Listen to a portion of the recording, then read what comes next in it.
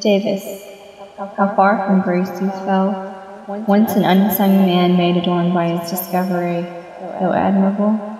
It was not your intellect that made you a flawless Orokin. You could be considered blameless, accustomed to the nature of death, intimate. Of course you recognize the pain within the Zariman children as you did in your mutilated Dax. In acts of betrayal, you proved your hypothesis. Inducement followed with shut lips and twisted truths.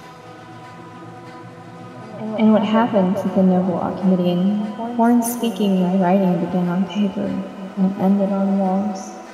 The children whispered in your ear secrets of the void.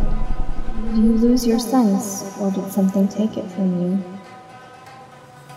Blood flowed endlessly when the mallet struck the drums. Your esteemed warriors eviscerated your kind in ritualistic slaughter. A harmless fantasy turned real. And how quick the executors readdressed, your peers and idols changing your name to be gifted to the jade light. Prodigy child turned martyr.